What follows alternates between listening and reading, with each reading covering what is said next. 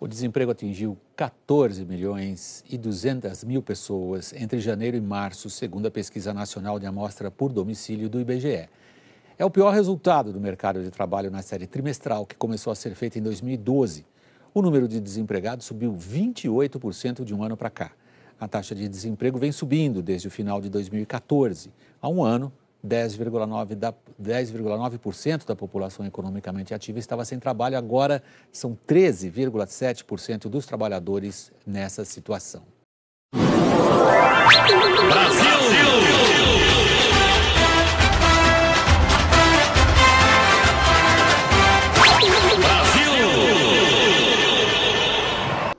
É quebra de recorde. 14 milhões de desempregados no Brasil. Isso é o que o IBGE somou, né?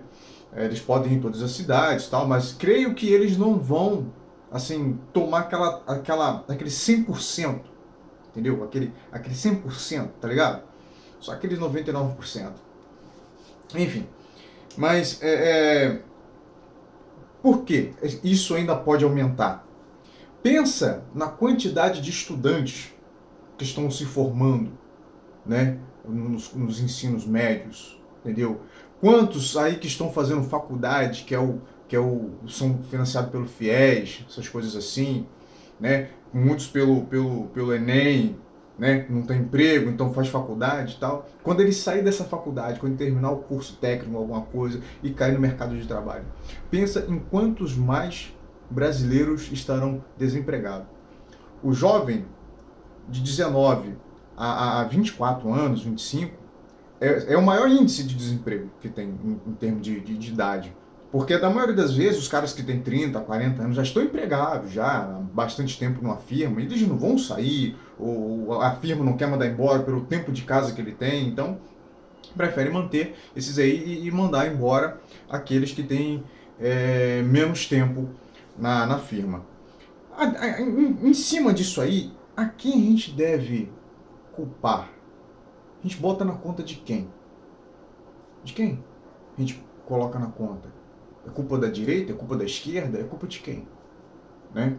Essa taxa de desemprego está subindo desde 2008, por aí, eu, eu perdi o site de onde eu estava pesquisando isso aí, eu, eu, perdi, não lembro mais qual. Né? Você não pode confiar em muitos sites também não, né? Você tem que sempre comparar um com o outro e tal, essas coisas assim, porque você não pode confiar, você não pode ir no G1, no Folha de São Paulo, você não pode confiar 100% nesses sites, né? que são meio complicados, né? Porque nem tudo que está na internet é verdade. Né? As pessoas falam, está na internet é verdade, então nem tudo é verdade, infelizmente. É né? uma ironia, né? uma frase irônica. Né? Se está na internet é verdade. É, é, em quem? Aí você imagina, qual foi o governo que foi implantado durante esses últimos 14 anos, 13 anos e alguns meses aí? Qual foi o governo que foi implantado? Isso mesmo, PT. É, Lula, as pessoas falam que o Lula facilitou as coisas para as pessoas. Facilitou, você pôde fazer empréstimo, você pôde comprar carro, pôde é, é comer comida boa, né? Você pôde fazer viagem, pôde comprar uma televisão, que isso, aquilo, facilitou, abaixou o IPI, né? Baixou as, a, a, a melhorou a, sua, a questão de você comprar, você tirar da loja.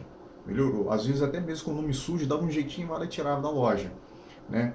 fazia cartão de crédito, conta em banco, essas coisas, melhorou. Foi uma maravilha. Pobre que quer, quer comprar, que quer ter as coisas, cresceu o olho, caramba, o Lula fez isso, o Lula me ajudou e tal, não sei o quê. Eu vou poder comprar, vou poder gastar e tal. E o salário mínimo dele era uma merda. Né? Esse, essa época de 2000, 2008, 2007, o salário era, era não, em 2009 o salário era 500 reais, cara, 500 alguma coisa o salário mínimo. Antes disso aí era 400 e alguma coisa. Né? Eu lembro que eu trabalhei numa firma, o meu salário era 400 reais, cara, em 2007. 400 reais, mais algumas besteirinhas ali, era para 400, 500 alguma coisa em 2007, né? E então, é, em cima disso aí, o Lula pagou a dívida externa, cara, ele pagou a dívida externa, né? O Olavo de Carvalho estava falando isso, estava assistindo um vídeo dele, ele estava explicando isso aí, que o Lula chegou para abalar, para causar e tal, né? Não tem, é, é, você quer causar, mas só o exterior, você prepara só o seu exterior, o seu interior é podre, né? Foi o que o Lula fez.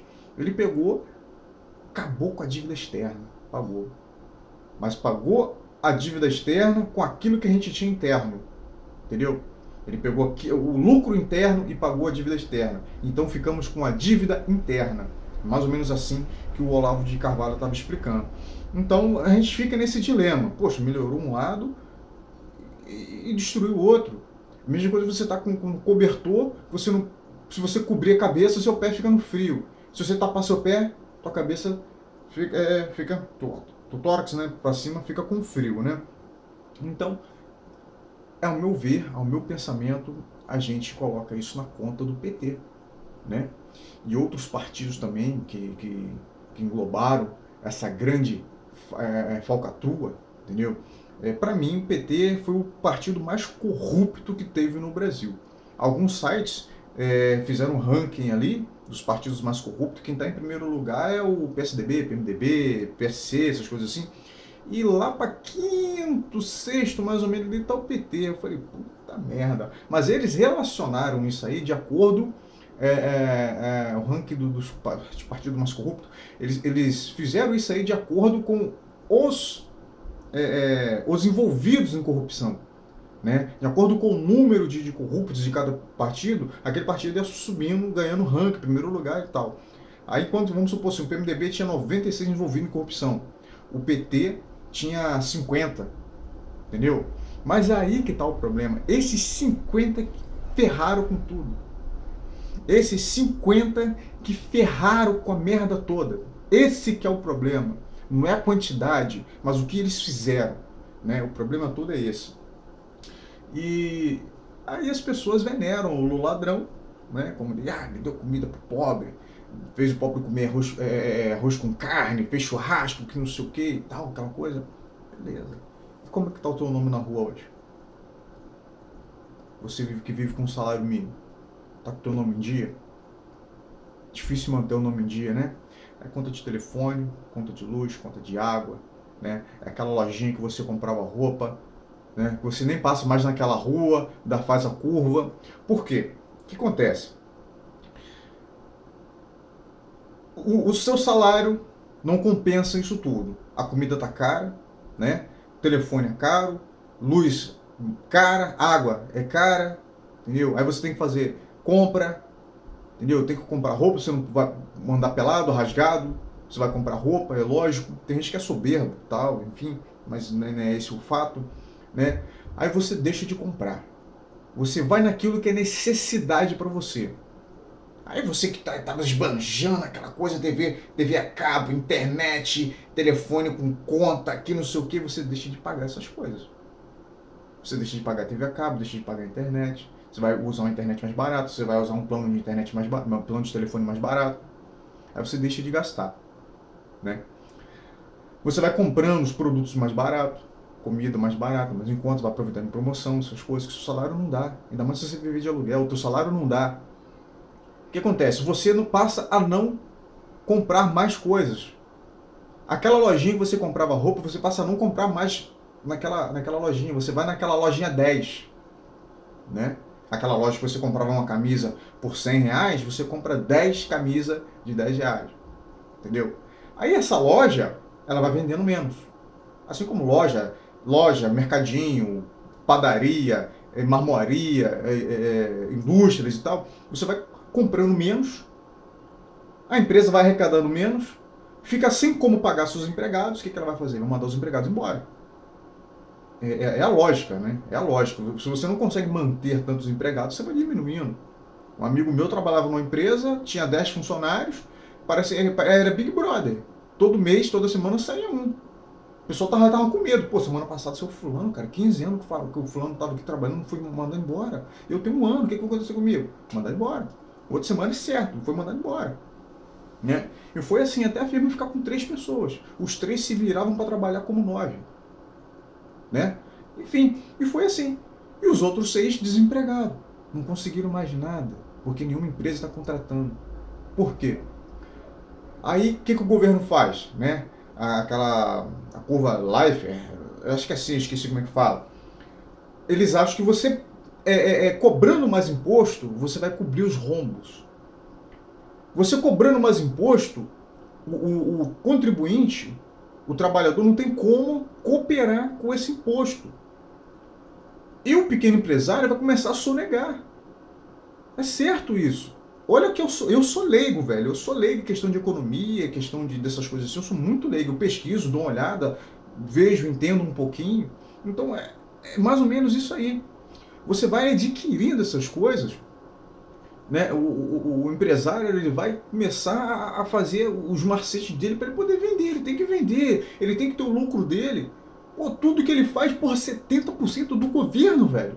Tem produtos que é 80% do governo. E como que isso pode?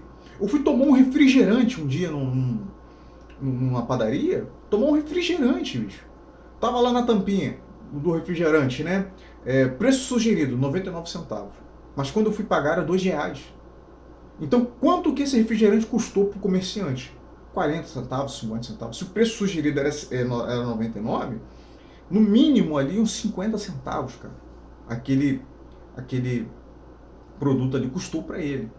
Né? Imposto tal, aquelas coisas. Cada, cada refrigerante, né? E tal. Aí o que acontece? Eu, com dois reais, paguei o imposto do comerciante, dono da loja da padaria, paguei o lucro dele e ainda ele ganhou mais 100% em cima do produto, 200% praticamente em cima do produto. Foi o que ele ganhou. Então, para ele poder burlar, a, burlar não, para ele poder superar essa questão dessa dívida, para ele poder manter os empregados dele e manter o seu lucro, ele teve que fazer isso com os produtos. Teve que jogar o preço do produto lá em cima.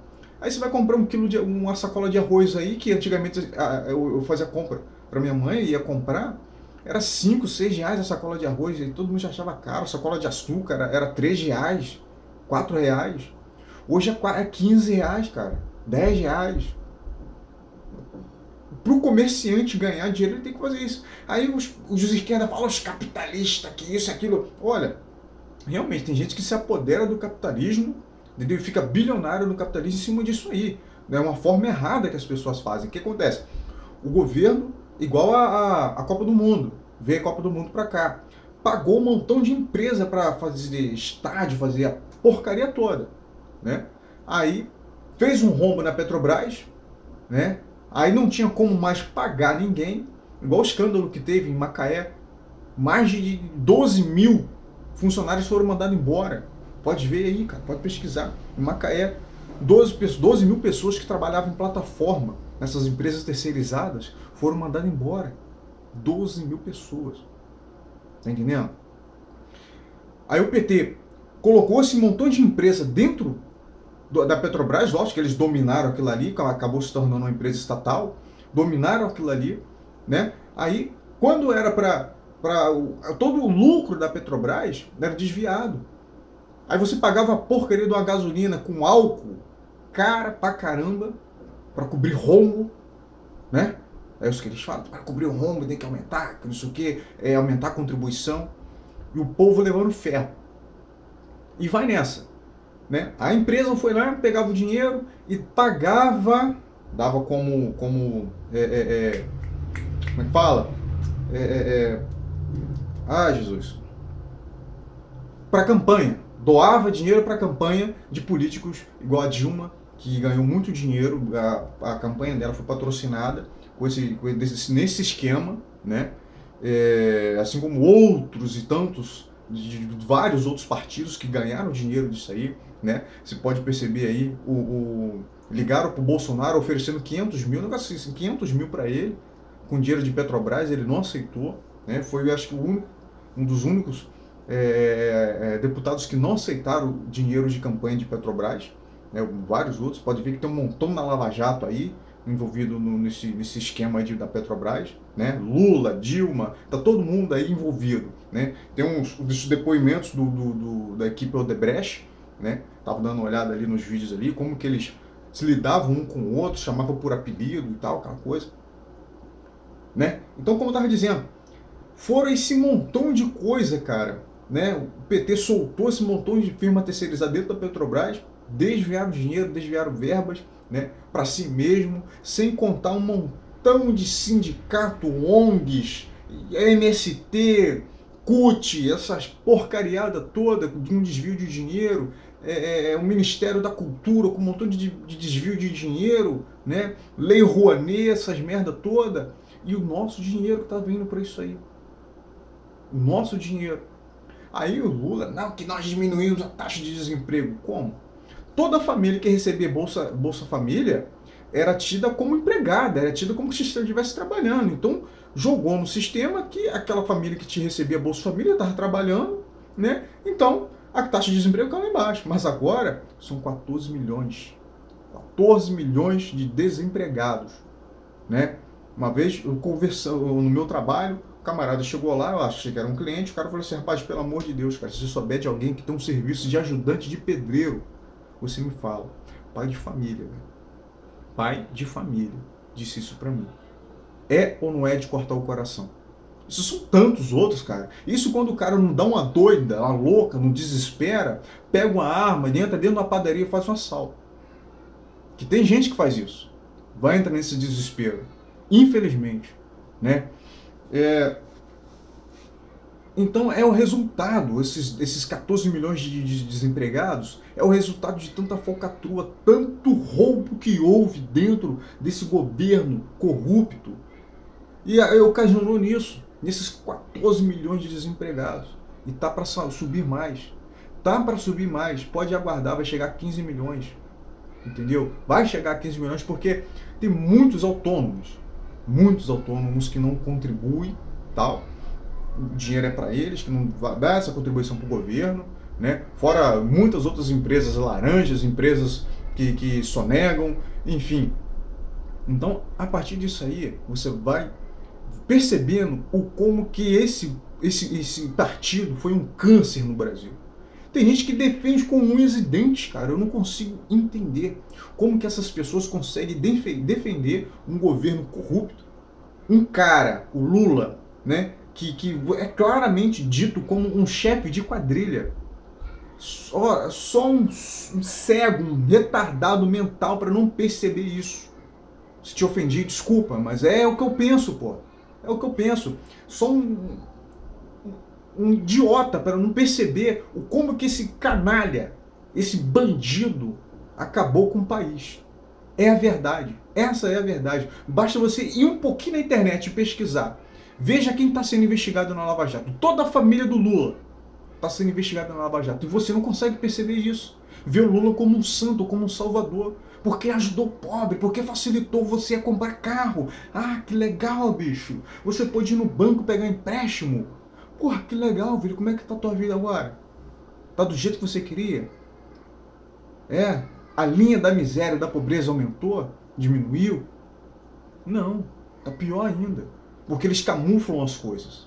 Né? Mas a culpa de tudo é do Temer. Eu não apoio o Temer, mas a culpa de tudo é do Temer.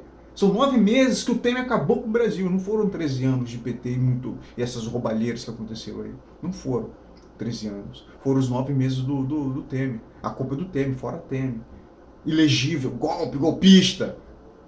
Porra, faça-me um favor, cara. Pesquisa, pesquisa, faça como eu, pesquisa, não seja um bitolado, não ouça o seu provedor, o seu professor universitário aí de faculdade federal esquerdista, não que defende Karl Marx, esse socialismo de bosta, esse, comunismo de merda que, que não serviu em lugar nenhum. Me fala um lugar que o socialismo deu certo, me fala. Cuba. Ah, o pessoal fala, ah, vai para Cuba, que não sei o que, vai para Cuba. Quem é feliz em Cuba? Me fala.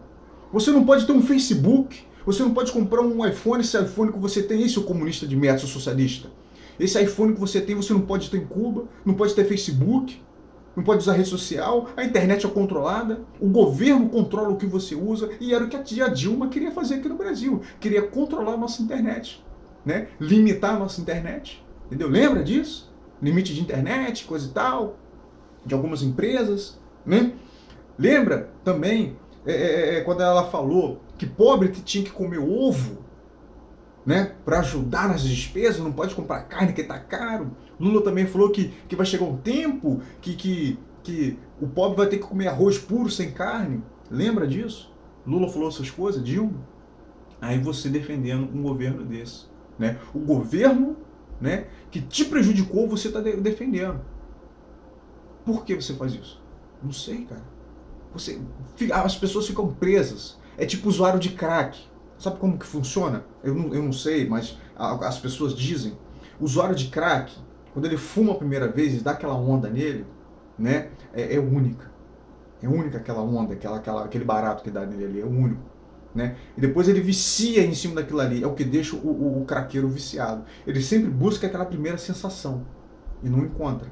É a mesma coisa são os militantes do PT, da CUT, UNE, né, MST, todos esses partidos corruptos, PMDB, PSDB, PSC, eles querem aquela, aquela sensação querem sentir de novo aquela sensação de poder. O pobre que entra no mercado, enche o carrinho, chega no, no, no eletrodoméstico, compra DVD, compra televisão, compra cama, compra porra toda, compra carro. Cadê o seu carro zero? Você compra um carro que vale por dois, bicho. Já começa aí, é 70% de imposto em cima do carro que você compra. Você compra um fogão que vale por três. Você tem noção disso? Pega o mesmo valor, o mesmo, o mesmo modelo de carro, compara com, com, com um carro de outro país. Né? Vê se, se dá um balanço, vê se em reais dá o mesmo valor. Não é. Não é, cara. Aí você pensa assim, pô, é, é, é um Camaro aqui no Brasil, dá, hoje deve ter uns 300 mil. Nos Estados Unidos é 50 mil dólares. Aí multiplica por 3. Ainda está mais barato né, ainda é o dobro né, do que vale um Camaro aí nos Estados Unidos, né, comparando assim mais ou menos, o dólar hoje está R$ 3,26, aí dá aquela reduzida tal, vai para 16, sobe para 26, sobe para 30 tal, enfim. Então você toma uma base em cima disso aí. Perceba, cara. Olha ao seu redor. Veja bem nas investigações da Lava Jato quem está sendo o mais indiciado. É o Lula. Aí você acha que Lula é santo. Aí você acha que o cara para ser santo, para ser herói, ele, ele, né? Ah, mas porra, tá perseguição, perseguição, cara. Se ele não tivesse feito nada, ele não teria sido perseguido. Triplex, né? O, o sítio, é, é, é, é a carne lá, do, eu não gosto do Tony Ramos, Tony Ramos lá da carne lá, do, do Friboi. Entendeu? E aí? Ainda assim você vai se fingir de militante? Não, mas que o governo do PT foi uma maravilha, que o PIB com o PT aumentou, que não sei o quê. Dá uma olhada lá. Viu como que tá o produto interno bruto? Viu como que tá a nossa renda per capita lá? Viu como que tá? Tá uma merda, tá uma zona. Isso é tudo culpa do PT. E você apoia isso. Infelizmente é assim. Você apoia essa merda toda aí que está acontecendo. 14 milhões de desempregados na conta do PT. É o que eu penso, é o que eu acho. Quer comentar, quer dar dislike? Fica à vontade, não tô nem aí. Eu tô aqui compartilhando minha ideia. Beleza? Então, tamo junto até a próxima.